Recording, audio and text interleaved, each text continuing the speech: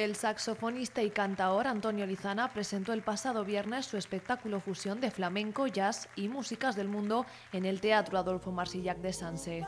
El, saxo es el, es el instrumento que he trabajado a nivel, digamos, académico, ¿no? Conservatorio, escuela y todas esas cosas pero lo de cantar yo creo que es el primer instrumento humano que existe. Así que bueno, dependiendo del día me siento más cantado o saxofonista. El artista hizo un recorrido por las canciones de sus cuatro discos, De Viento, Quimeras del Mar, Oriente y el último de ellos, presentado este mismo año, que lleva por título una frase muy actual. Se llama Una realidad diferente y ya le pusimos el título el año pasado, o sea que ha sido como una premonición nosotros no queríamos esta realidad, estábamos invocando otra, pero bueno, esta es la que nos hemos encontrado.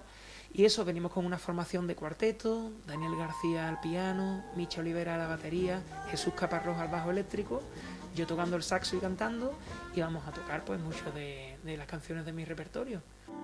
se ve oscuro y se nubla la mente, es cuando siento que está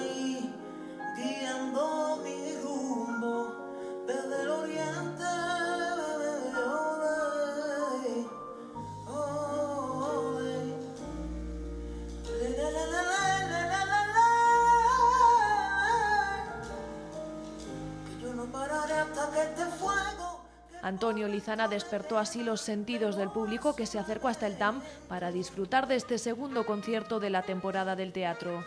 Cómo tenemos que estar agradecidos de que se esté volviendo a, animar la cosa y cómo la gente agradece también en estos momentos más que nunca el arte, a pesar de ser un ambiente más frío, porque evidentemente no tenemos 700 personas en el teatro como podía haber, hay 100, pero aún así la gente como que está muy necesitada, yo creo, ahora de, la luz y de la energía que, que el arte en general les brinda. ¿no?